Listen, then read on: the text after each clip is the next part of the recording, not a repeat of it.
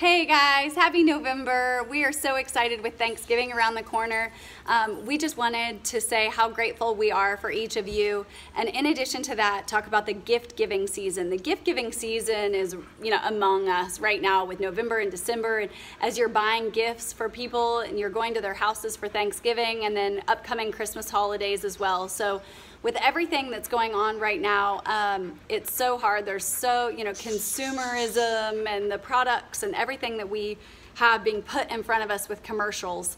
Um, we just wanted to remind you real quick that one of the best ways to give a gift is to give a gift with meaning, a gift that has a story, and a gift that helps someone else. So it's not just the gift for the recipient, but it's also the gift for the person that you're actually buying it from. All of our products have stories behind them, and we hope that you'll come into the store or online, send us an email, and ask for the person, like a personal story, so that we can share that with you.